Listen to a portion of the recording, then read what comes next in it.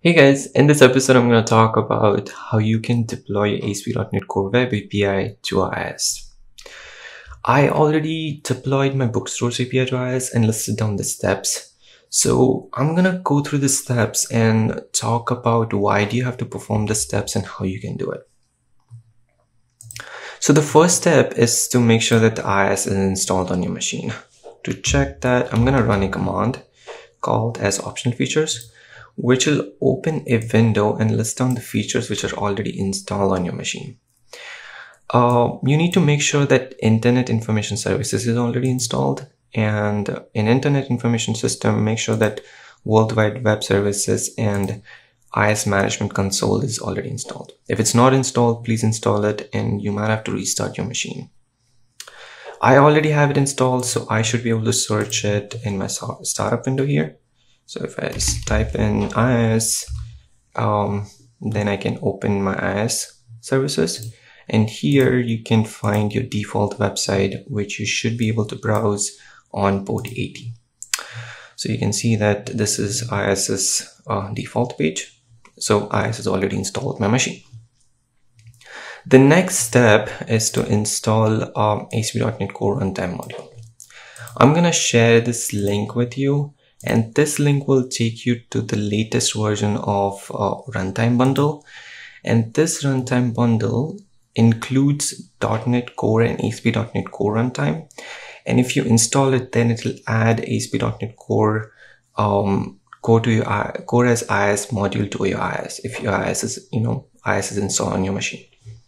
So if I currently check on my IIS um, go to modules I don't see any uh, ASP.NET Core um, module installed on my modules here.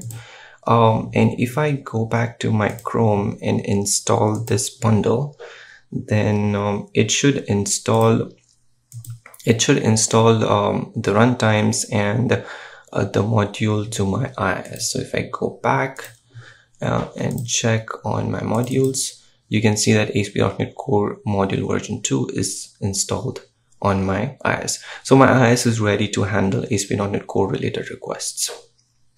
Okay, so the next step, the next step is to publish the project to a folder. So I'm gonna go to my Visual Studio and I'm gonna create a folder first. So I'm gonna go to my solution folder here and go to bookstores and create a folder here called as publish and then I'm gonna create another folder in this because I have a front-end uh, app too. So that's going to be a different folder. I'm gonna call it bookstores API for the API and in this folder we're going to uh, we're going to publish our API so I'm gonna right click on my web API and go to publish. And here uh, Visual Studio will list down um, all the methods all um, all the areas where you can publish your uh, publish your web API. We're going to select folder and click on next. And by default, it'll give you the folder of, you know, the bin folder, bin release folder where you can publish your website. But we have already created a folder in which we are going to publish our web API. So if I go to data, here's drive, repo, uh, bookstores publish bookstores API. Okay, and I'm gonna click, uh, click on finish and then uh, publish. So when I click, uh, click on publish, uh, you know, it'll build my application and uh, put all the assemblies in in the folder that we selected where we wanted to publish our API. So if I click on this folder, it will open the folder and you can see that, you know, all the DLLs that we used for our web API are listed down here. Um, all the SQL related, all JWT and all the DLLs are uh, published in this folder. So the next step that we need to do, we need to refer, we need to create a website and refer our uh, website, IIS website to this published folder. But before we do that, I'm going to change port of the default website to 90 because I want my website, uh, the new website, the bookstore website, the web API to uh, to point it to uh, port 80.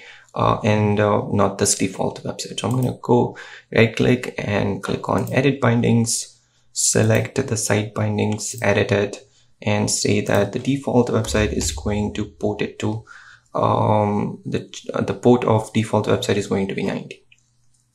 Sweet. And then close this.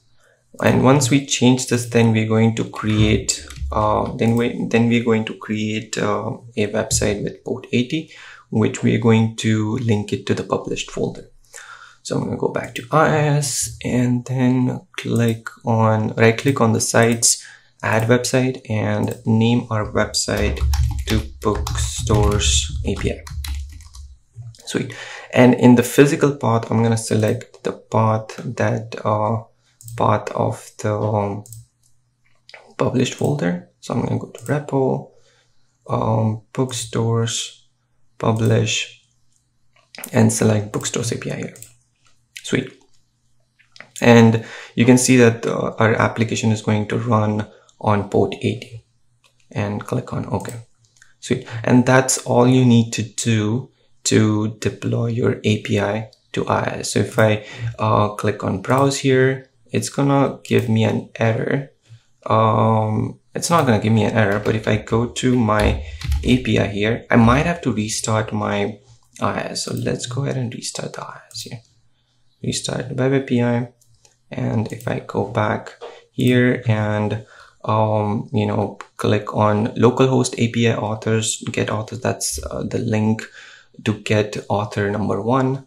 And this should return author from my web API. Now this is hosted on our IIS and I can even also um, you know use the swagger go to swagger URL and open swagger and you know try my API execute the commands and it will list down all the authors in my system and I can test it out I can even use my uh, IP address and go to the swagger URL and then I should be able to you know use this IP address in the machines which are in the network, you can open up your phone and go to this URL if the phone is in the same network and you should be able to use Swagger from your phone.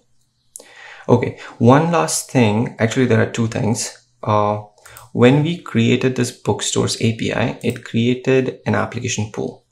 The application pool is uh, the .NET CLR version pointing to um, .NET 4 and this is something that you can change. You don't really have to change it but it's recommended to change it to uh, no managed code because you know we are not using .NET uh, .NET 4 framework runtime. This is um, our runtime is um, gets booted up in the worker process. So you don't really need to select the CLR to framework 4 or 2 so this will increase the performance of your application. So it's recommended to do it. So please do that.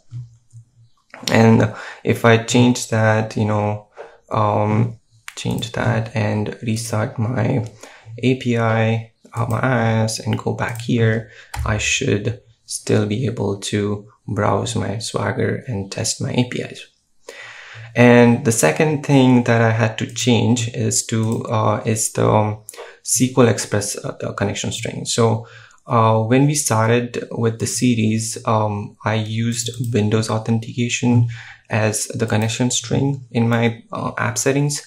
And I had to change it to server authentication, you know, create a server, um, server admin, and then set a password. And I had to use that connection string to make it work right. Um, you know, to get, you know, to browse the data from my IIS. So please make sure you do that. And yeah, that's all you need to do to deploy your bookstores API to IIS. If you have any questions, you can reach out to me on Twitter, Facebook, I live on Twitch.